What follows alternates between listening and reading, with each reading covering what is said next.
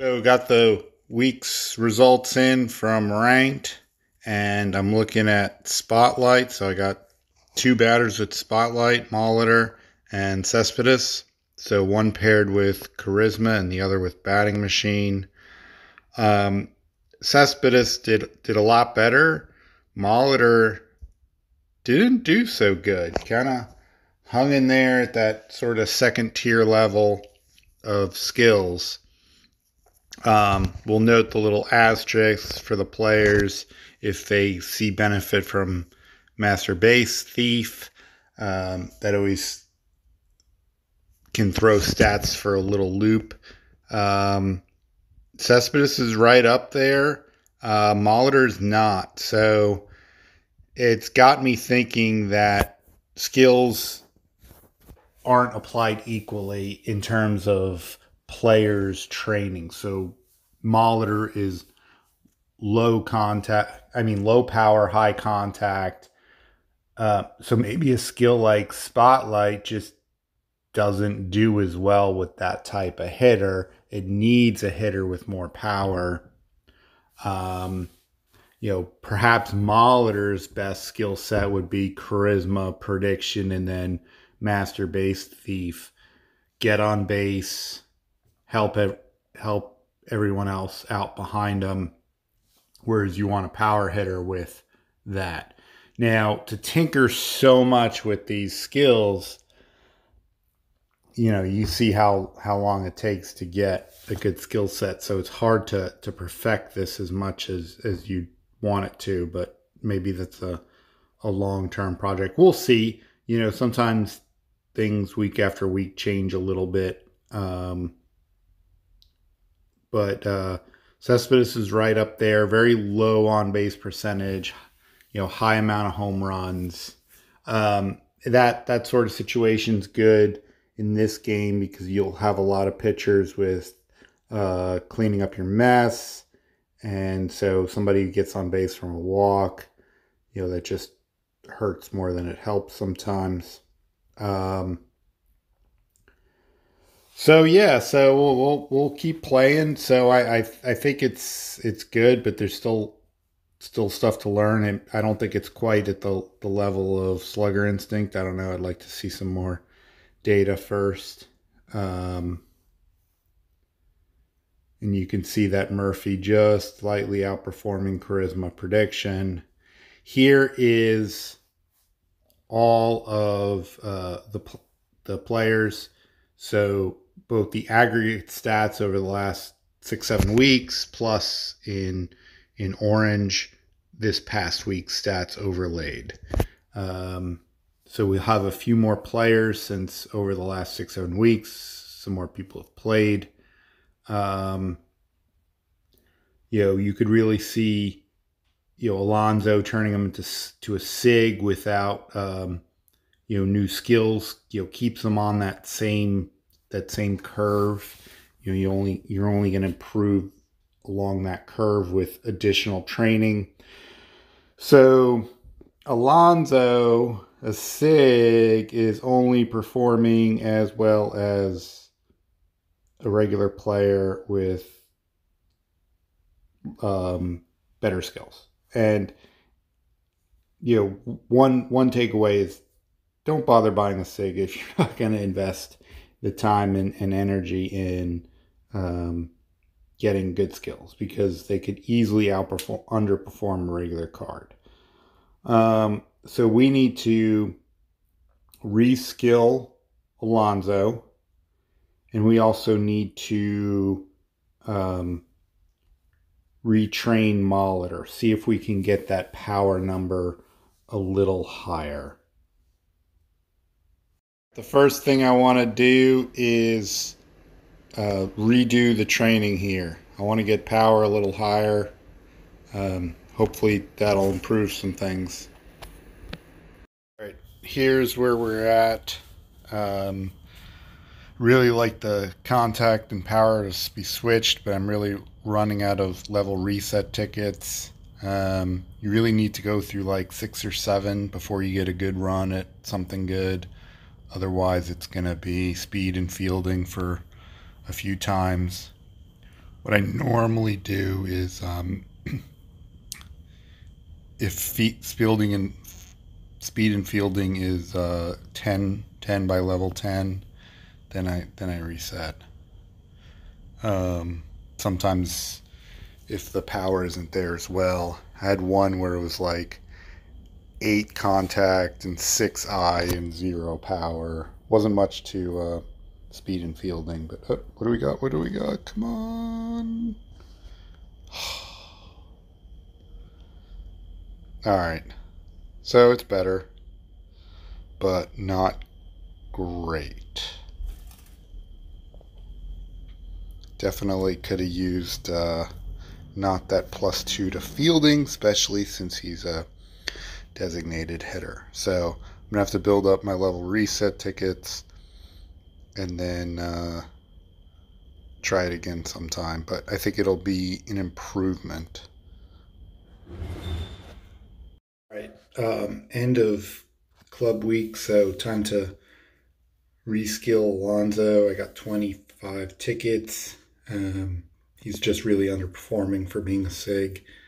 Um, here's his skill set. Good, good arcade skill set. So if he doesn't land a good arcade skill set, plan is to, to turn him into an arcade batter. Um, and then I think I'm to have to consider redoing Cabrera. You know, Ozzie Smith, even with a pretty good skill set, kind of underperforms. Um, and then I want to get to Granderson eventually, and then have enough for whenever I land um, Hundley. So let's get Pete. Where are you, Pete?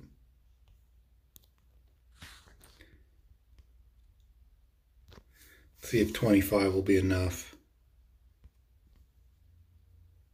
Oh, just. Come on, give me Charisma Slugger.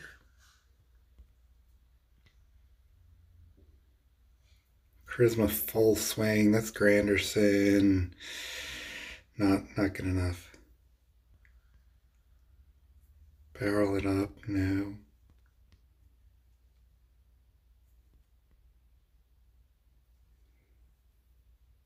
Nope. Charisma. Spotlight, nothing.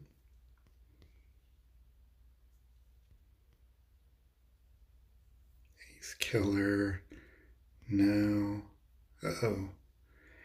Barrel it up and Ace Killer, no. He's never going to use Ace Batting Machine and Reliable, no. Alright. Laser beam on a first baseman. Yep, that's that's what we want.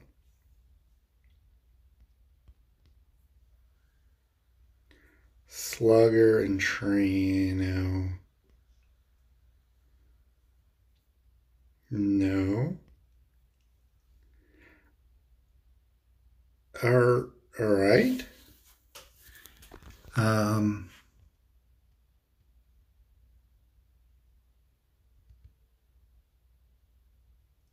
Should I try this? I mean, I don't have a ton of tickets left. I'll try it. Um, we'll we'll see how we'll see how it does.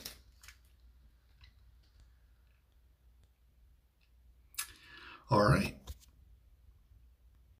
All right. So I'm going to switch over to the Astros team. This next segment's going to look at uh, reskilling Keuchel to try and get the velocity number up. Um, this is a the first part of the segment was recorded a few weeks ago, and then I tested it over a few weeks. So I'm gonna be first showing you the uh, the retrain, and then jump to present day and show the results.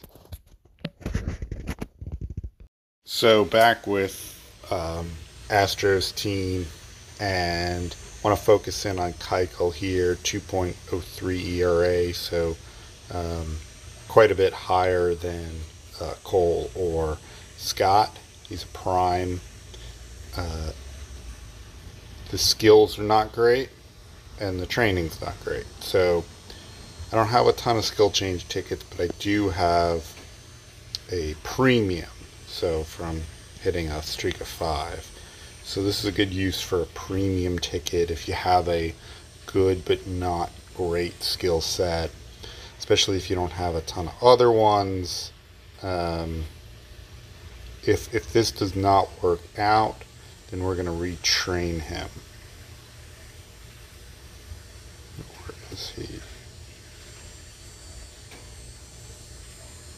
There he is.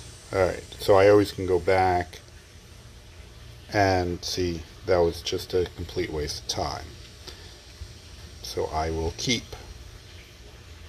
Alright.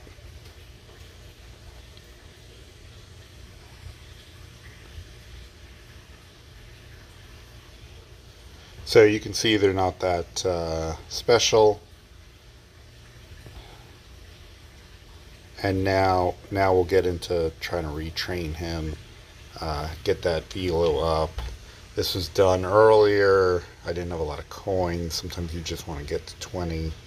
So uh, it'll be interesting to see how from week to week, just with a retrain, how how much that affects ERA. Is it going to go to you know 1.4 is it going to go to 1.99 that sort of thing. And i'll use cole and um, scott as benchmarks. So all right. I'm not going to bore you with this so i'll show you the results.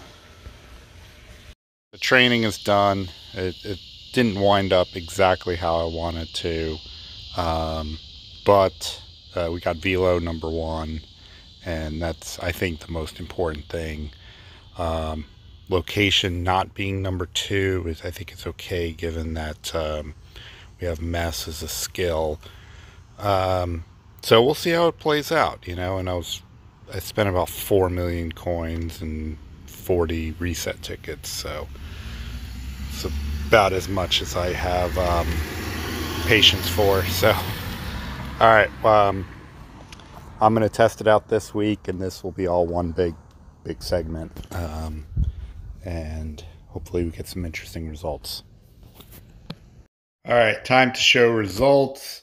To recap real quick, um, here's Keuchel um, after and before. So we added 10 to velocity, took away 5 from location, and then the other 5 from stamina, fastball, and breaking ball. So now we can see this is the ERA over several weeks. Um, you know, the old training and the new training denoted. Uh, Keuchel is the red line.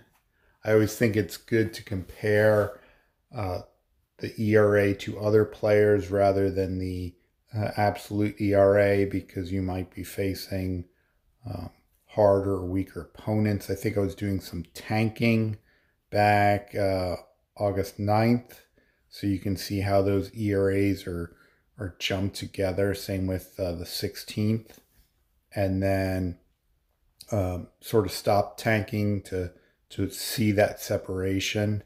So yeah, one point, um, when you tank, you may not really see who's the better player because you're playing a lot of, you know, weaker opponents and uh, it, you don't get that separation. But then as you stop tanking, now you can see uh, who the, the better pitchers are. All right, so it's a little jumbled. It's a little hard to read. So what I did was I combined um, Cole, Morton, and Peacock. Uh, Scott wasn't in the entire time, so I didn't want to throw him in the mix. But if we look at the same chart. Uh, so I've averaged Cole, Morton, and Peacock. Uh, Keuchel, you know, I've performed them a little bit, underperformed them. Uh, you know, it, it's it's been really mixed. So his his ERA's actually been a little higher since the retrain. I don't think it's statistically significant. Um, you know, when you get new skills, you'll see bam impact right away. Um, you know, if you get a great skill set, and and here you just didn't see much. I mean, adding ten to, to velocity is is is kind of a big thing, you would think, conventional wisdom, but I'm just not really seeing the results. Um, so definitely skills are way more important than training. Um, I wouldn't I wouldn't completely ne- neglect training, but um, you know I wouldn't go overboard with it if especially if you don't have um, the skills to spare. It's not as concrete as as the batting. The batting I can really show how um, the different training affected performance. So all right. I hope this is helpful. Let me know if you have any questions and uh, back to grinding later.